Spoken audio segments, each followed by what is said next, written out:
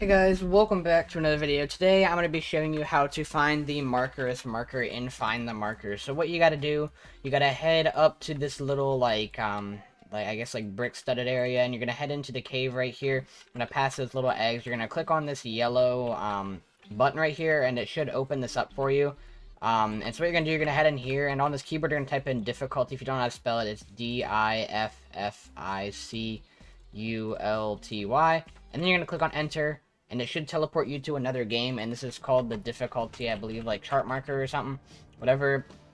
Yeah, so there's the runner marker and the uh, difficulty chart marker. The runner marker you can find, I believe, after you complete hard. I believe you get that for free by walking a thousand studs. And then for this one, you have to do the entire obby. So the obby is not easy. It starts extremely easy, but it gets pretty hard pretty fast. So may have to do a time lapse on this. We'll see how it goes. I don't believe you can sprint in this either. And yeah, we'll just kind of see how it goes. Yeah, so there should only be two markers on this entire map. Uh, some of them have sliding. Uh, there's all kinds of stuff to the obby, so um, some of them are harder than others. Um, so that one does slide, and to kind of like avoid the slide, you can jump.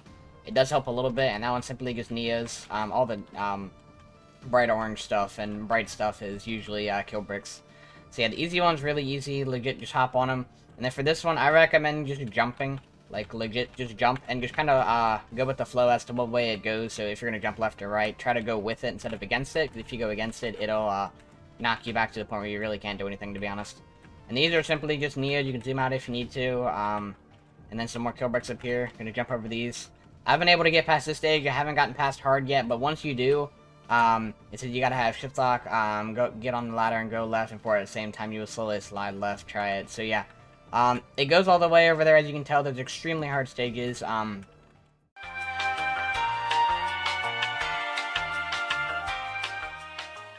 Alright guys, we are back in this section of the obby. All you gotta do is just time your jumps so that you land perfectly and then you should be good. So as you can tell right there, we have now completed that part of the obby. And now we're here, it says uh, to do this one, you, you gotta have shift left, get on the ladder, and go left and forward at the same time. You will slowly side left. I believe there's a checkpoint here. I'm not positive. I'm not too sure to do this one, so if I fail, uh, it kind of is what it is.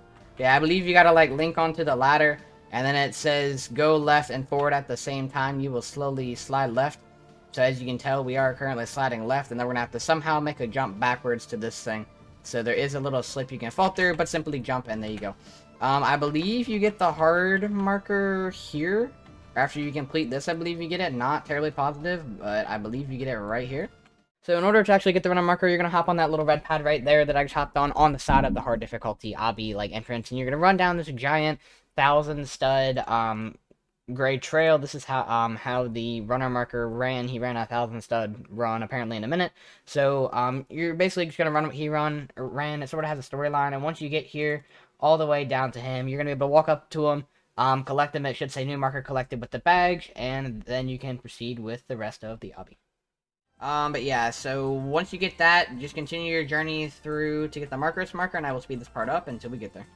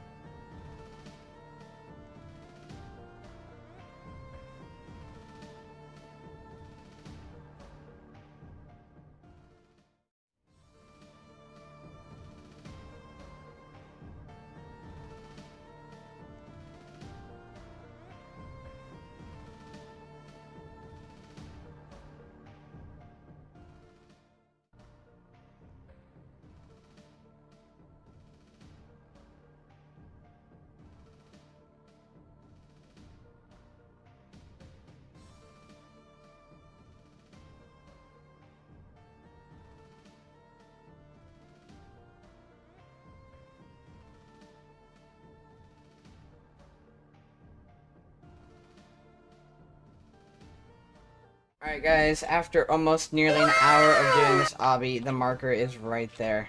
So as you can tell, we finally got the difficulty chart marker. Holy crap. Alright guys, so that is how you get this difficulty chart marker. I hope this was helpful for you guys. Uh, there's not really any tips to the obby, except for the last part. On the orb, you gotta, like, kind of, like, face it and, like, evade out and then back in. As you can tell, I kind of, like, jumped over it. I'll head back to it so I can show you guys. But as you can tell, I did get both markers. I got the runner marker at the very beginning and the difficulty chart marker, so we have gotten both of those now.